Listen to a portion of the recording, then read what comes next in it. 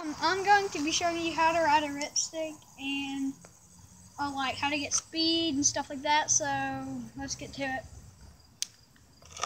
So first, if you're left-handed or right-handed, I think it's just left-handed, you'd put your right foot on the right side of it, of the, of the ripstick, put your left foot on the front part of the ripstick, and then push with your right foot and put it on the back like that. So, so, but if you're right-handed, you do it the opposite. But of course, I can't do that because I'm left-handed. But how to get speed is, um, I'm going to start riding it, and uh, it you're going to see my feet and what I do.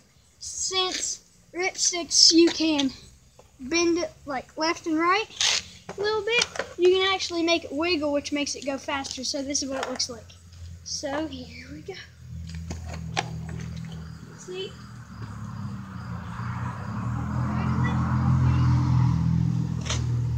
Okay, well, anyway, I'll do it like this. So, going this speed, and then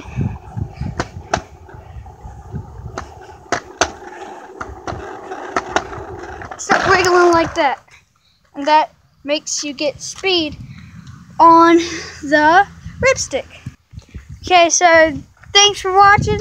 Like and subscribe. Hope you guys got some information. See the wiggling? Hope you guys got some information on how to do that.